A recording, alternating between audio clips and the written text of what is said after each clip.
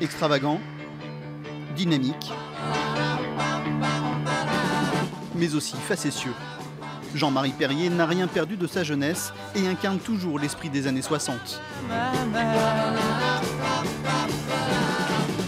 Une période durant laquelle le photographe a côtoyé tous les artistes français des yéyés.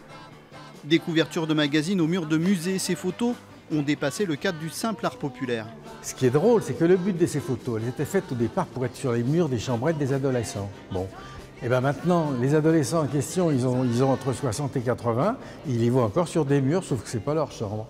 Donc voilà, c'est formidable de voir dans un endroit aussi respectable des photos qui n'étaient pas faites pour être respectées.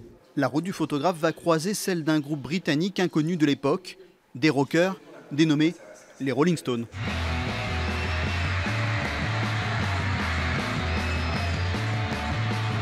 J'ai eu la chance de rencontrer tous ces gens-là quand ils démarraient. Moi j'avais 22 ans, eux, 18, 19. Bon. Les Rolling Stones, quand je les ai rencontrés, ils n'avaient même pas encore sorti leur disque. Donc après ça, ça devient des stars mondiales. Moi je les connais, ils me connaissent, je peux suivre. Rien de naturel dans ces photos. Ici, tout est mis en scène et ce sans aucune contrainte.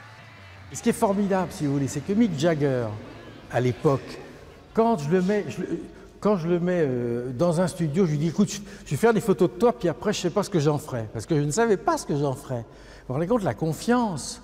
Mais c'est impossible d'imaginer ça aujourd'hui. Jamais il y en a un qui m'a demandé d'avoir une photo avant qu'elle paraisse, par exemple. Vous dites ça à un photographe aujourd'hui, il se suicide le mec. Une époque de liberté, celle des années 60, à laquelle nous convie l'œil de Jean-Marie Perrier à travers cette exposition et ses 72 clichés.